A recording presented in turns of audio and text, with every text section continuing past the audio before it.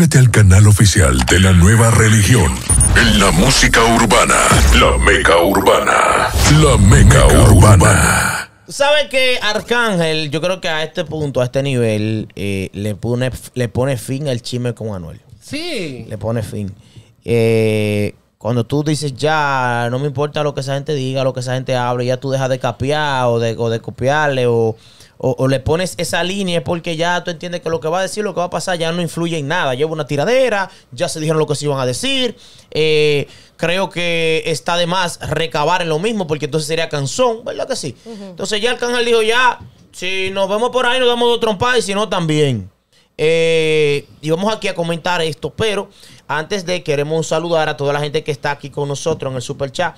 JJ y Marlene, encárguense de eso ustedes y ahí saludan a la gente tuya. Mira, ahí está Carmen Brito, que está loca contigo, Marlene. Ay, sí. Eh, esa es tu fanática que te escribe seguro fielmente a través de Instagram. Sí, ella me escribe muchos mensajes muy bonitos. Ca- eh, Carmen Brito, excelente programa, gracias Carmen. JJ, dele saludo a la gente suya ahí. Déjame verificar que, que estoy. A Lili, motívense como Lili, eh, motívense como Lili. Sí, Así mismo, apoya la plataforma. Bueno, aquí tenemos a Delia González. Gracias por estar sintonizándonos, Delia. Carmen Brito. Excelente programa. Claro que sí, Carmen. Este programa lo hacemos para ti y para todos esos fieles seguidores. Tenemos aquí también a María Piñera. Tenemos a Ana Núñez. Tenemos a. Dice. Ay, JJ. Gracias, Carmen, mi amor. Mil bendiciones para ti. De verdad que ese tipo de comentarios me pone el ego. Ay. Bueno, vamos arriba. Eh, Arcángel recientemente eh, hace unas publicaciones diciendo que ya no va más con esto de, de, de Anuel. Él tiene una cuentecita que se llama Yo soy Anastasio. Déjame felicitar a mi amor por la gran disciplina que está teniendo. No sé, no se me está dejando volver loco y está enfocado. Él sabe, eh, producción, no sé si usted tiene por ahí eso, que lo mandamos temprano, producción, ¿eh? Pero déjame, déjame darle, déjame mandártelo de nuevo, producción, ¿verdad? Para eh, poner a la gente en contexto también, Jota. Eh, se lo pregunté, producción, temprano. Le dije, ¿estás ready? Estamos ready. Ok.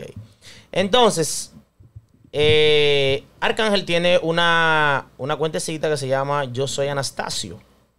Una cuentecita para tu curarte. ¿Tú, tú tienes una cuenta para tu curarte, Jota? No, yo tengo varias cuentas para estar Sí, pero para tu brechar, no para curarte. No, no, para curarme no. Es para tu... Brecha. Sí, para tu brecha. Vamos a poner aquí lo que pone Arcángel eh, en esta cuenta que tiene de amigos y allegados, eh, en su efecto, ¿verdad?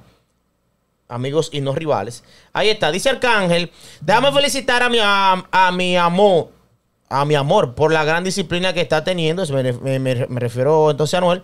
Eh, no se me deje, no me se me está dejando volver loco y está enfocado. Él sabe que cualquier cosa, yo estoy aquí agradecido de que me haya dejado janguear todo este año afuera. Así que ya sabe, mamabichos, andamos ready para todo el que joda con The Big Mac Arubi, ok.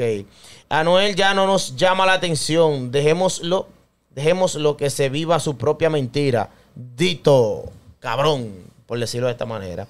Eh, da una impresión, ¿verdad? De que ya le ponen un sello, un, Un stock. un stop ya. Limita. Además de que no es interesante. No estamos haciendo esto para darle la secuencia de que ya eso no va más. Por decirlo así. Ahora, tú has barajado pleitos, Jota. Muy pocos. Muy poco. Tú has aruñado, has mordido, Jota. No, yo soy una persona pacífica, pero sin embargo. ¿Qué es lo más que tú has hecho en, en- en un pleito? eh, no, no, me voy a exponer aquí como una persona violenta. Luis. No, pero ¿qué es lo más que tú has hecho en un pleito? No, Vale, le he dado botellazo. Yo he dado botellazo, le he Yo he volado dado arriba, botellazo, he cortado gente. Yo he Son cosas- Claro. que Yo he partido cabezas. También. Claro. Porque tenemos tres delincuentes aquí en este panel. Tres ¿eh? tres gangueros. Tres sacados, no, bro. Gracias a Dios que Dios nos rescató No, pero ya estoy diciendo que soy una persona pacífica. Ya no utilizo esas estrategias. Ya a mí me suena a teatro todo esto. ¿Por qué? Porque si algo no te importa, o sea, eh, esa es mi opinión y esa soy yo. La esa tuya, es la venenosa. la tuya. Cuando la venenosa no le importa a alguien o algo, lamentablemente yo no tomo ni un segundo de mi tiempo para hacer una publicación formal de que fulanita o fulanito te di banda. Yo simplemente ignoro a esa persona, no lo vuelvo a mencionar, no toco esa tecla porque no me interesa. Cuando hace este tipo de, de publicaciones, Arcángel, yo siento que es para llamar la atención de Anuel para ver qué Anuel le va a responder, porque sabemos que Anuel también es medio débil a veces, a ver qué le va a responder para seguir la cizaña. Usted va a cerrar un ciclo, usted no tiene que mencionarlo. Usted toma la acción de que ya pasó y se acabó. Eh, pero es importante también porque muchos fanáticos son litigadores y se le tiran a los conciertos y comienzan Sí. a vocear al, al otro artista Ah, bueno. y, y provocan y, y- y crean situaciones. Y hasta cierto punto, Arcángel siempre ha sido un artista víctima de agresiones de fanáticos porque, como él es airoso y baboso, Sí. Sí, o sea, eso sí porque tiene, yo iba a decir, baboso. yo soy eso sí tiene fanático- nombrecito. Yo ese. soy fanático de Arcángel, pero Arcángel es un chamaquito baboso. Sí. Baboso. Que de estos tigres que llega a los sitios y quiere que yo soy el mejor. y Esa que yo- miniatura de hombre. No, no, pero no porque sea miniatura, sino de que esa es su personalidad. Sí, tiene un ego fuerte. La respetamos, te queremos al un beso, un abrazo, no es nada personal, pero sí hay que decir las cosas como son. El otro, que no es tonto ni perezoso, Y también es otro baboso. es otro baboso Y también. todo lo que termina en oso, ¿Y cómo tú sabes que termina en oso? ¿Eh? nada, Porque ahí está continúa. baboso. ¿Eh? ¿Qué más? Sabroso. Chismoso. Sabroso. Chismoso. Gustoso. Hay muchas cosas que terminan en oso, pero te digo, cuidado con lo que tú motivaste o pensaste ahí rápido.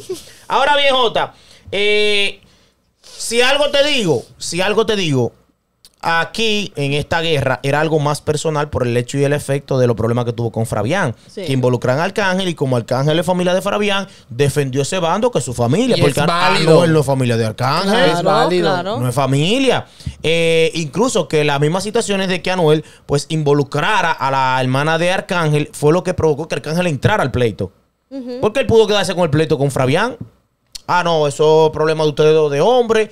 Yo me mantengo al margen, la vaina, que por aquí, que por allí. ¿Me entiendes? Porque son problemas de ustedes de negocio que hicieron ustedes. Ahora, al momento de Anuel llevar a la conversación a la esposa de Fabián, que es el, hermana de sangre de Arcángel, ya Arcángel entra. Desde Y él lo explicó en una entrevista. Yo voy a defender a mi familia, a mí no me importa. Sea lo que sea mi familia, yo te voy a defender. Venga quien venga, yo te voy a defender. Entonces Anuel lo tomó muy personal. Eh, unos dicen que Arcángel ganó la guerra. Bueno, muchos dicen que Arcángel ganó la Desde guerra. luego. Y pocos dicen que Anuel la ganó. Desde luego. Para no decir que hubo un empate. No, no. Porque hubo. todo depende del punto de vista y del nivel de fanatismo que usted tenga de su artista. Exacto. Excelente. O sea, no vamos a decir que, que quién ganó. que- ahora, tú me preguntas a mí, y por letra, y por rima, y por, vai- por vaina, Arcángel la ganó. A mí, tú me preguntas. Conscientemente. Conscientemente. Pero usted, como fanático, puede decir, no, Anuel la aplicó, la rompió, le dio duro, qué sé yo cuánto. Sí, tienes razón, porque ese es su punto de vista. Ahora, este es el mío. Marlene, ¿a ti qué te da este, este fin del chisme? A mí me da que también la gente puede evolucionar y hay Mm. cosas que es bueno dejarlo atrás. Arcángel es una leyenda, mi respeto para él, siempre lo he admirado muchísimo y es bueno que dé ese ejemplo de que hay cosas que hay que soltarlo. Si Anuel no está a su nivel, lo mejor que debe de hacer es dejarlo ir y cerrar ese ciclo, me parece bien. Déjalo ir. ¿Usted ha barajado un pleito, Marlene? ¿Usted ha evitado un pleito? Sí, ¿O usted ha cerrado un pleito? sí, las dos. La- las dos. Sí. Pero ¿en, en qué- en qué término usted ha cerrado un pleito? O sea, ¿en- en ¿cómo tú cerraste un pleito? Porque Arcángel está aquí prácticamente diciendo, ya no le vamos a hacer caso a Noel, ya eso pasó, ya. Nos quedamos ahí. No somos amigos, no somos nada, pero quedamos ahí. Pero ¿cómo tú cierras un pleito?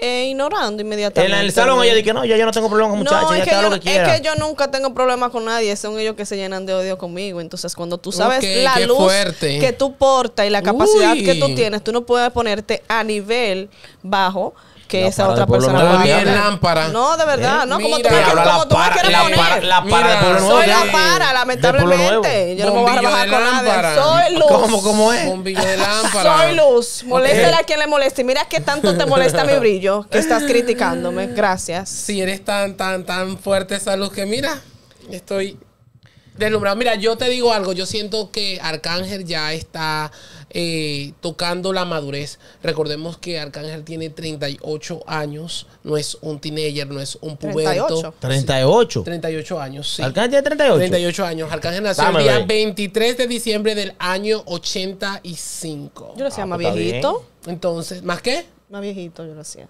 Sí, porque está acabadito. Sí, está como medio la miniatura de hombre está Lo acabadito. que pasa la otra noche y la vaina, sí, Sí, la 30, es maravilla, verdad, el 38. consumo de droga y todas esas cosas. 38 tiene Arcángel, Eh, ¿verdad? mira, eh, pero enhorabuena para Arcángel que ya está evolucionando, que ya está creciendo como hombre, que le está dando un buen ejemplo al género, porque para nadie. Pero él no ha crecido, Jota. Pero de madurez, Mentalmente, de edad. Ah, ok. No, de emocionalmente. tamaño no, ya yo te dije que es una miniatura de Como hombre. hombre, como hombre, Y pues. musicalmente es muy talentoso, pero siento que pierdes tu esencia, pierdes esa luz cada vez que te pones en chismoteo con Anuel. Bueno, ahí está. ¿Usted qué cree que no se le pone fin a este chisme? Dije que con Anuel hasta que se fuma un tabaco y ve una foto de Anuel por ahí, un video de. Anuel montándole Ujú. pira.